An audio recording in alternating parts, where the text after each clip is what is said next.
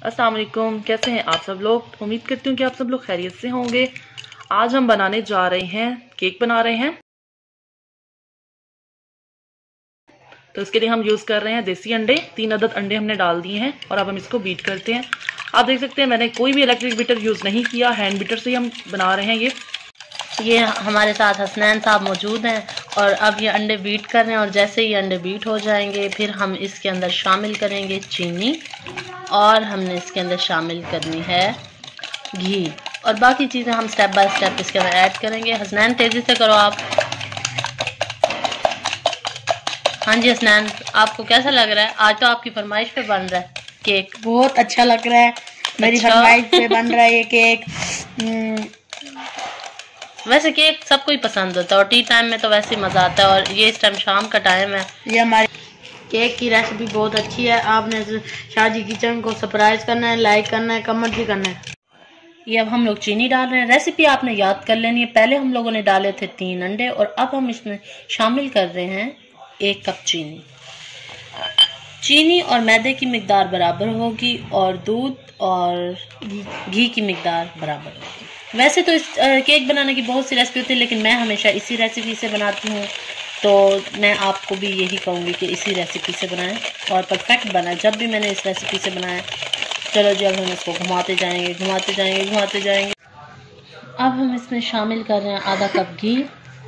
पहले हमने डाले थे अंडे, फिर उसके बाद हमने डाला था इसके अंदर चीनी, और अब हम इसके अंदर ऐड कर रहे हैं ये ऑयल ऑयल हमने, मैंने जैसा कि बताया था कि आधा कप आपने ऑयल लेना और आधा कप ही आपने दूध लेना यानी ऑयल और दूध की मकदार बराबर होनी चाहिए इससे।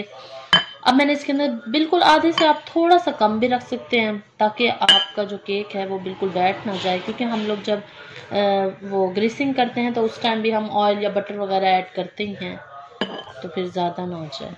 और ऑयल अगर ज़्यादा हो जाए तो फिर आपका जो केक है वो अच्छे तरीके से फूलेगा नहीं। अब आपको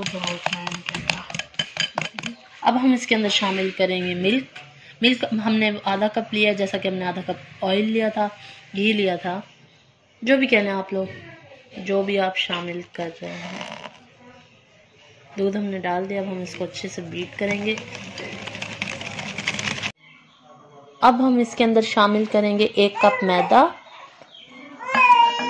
मैदा हमने डाल दिया है। अब हम इसको अच्छे से बीट करेंगे। इसके अंदर चंद कतरे डालेंगे ये बादामों का सन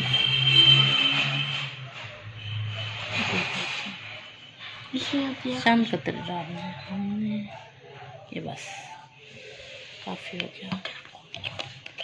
अब हम इसको बंद कर दूँगी मैं और फिर उसके बाद हम इसको बीट करेंगे। चलो जी। अब इसमें हम कोका पाउडर शामिल करेंगे।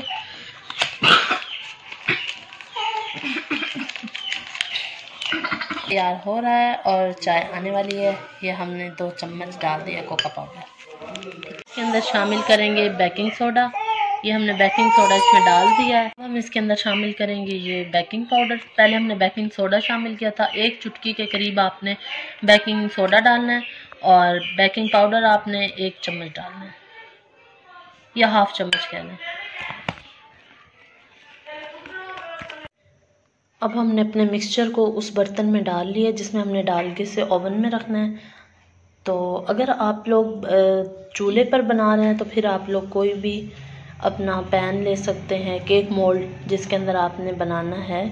तो मैं इस टाइम मैंने ओवन के अंदर, क्योंकि मैं बनाने वाली हूँ, इसलिए मैंने इसके अंदर डाल ली है अपना मिक्सचर और अब मैं इसे ओवन में रखूँगी। और हमने इसके अंदर शीट भी बिछा लिया ऑयल हमने लगा लिया था ताकि ये केक आसानी से निकल आए। चलें जी, अब हम इसे ओवन में रखते हैं। ओवन के अंदर अब हमने इसको रख दिया है और अब हम ओवन को बंद करेंगे और सा आठ या सात मिनट के लिए हम इसको सेट कर देंगे। ओवन बंद हो चुका है, अब हम इसकी टाइमिंग सेट करेंगे।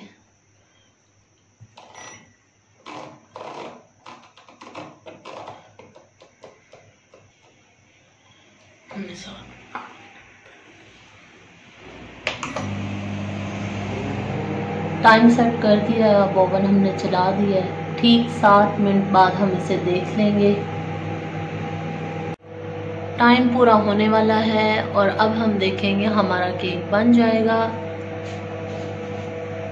बस हो जाओ हो जाओ हो गया। अब हम केक निकालते हैं।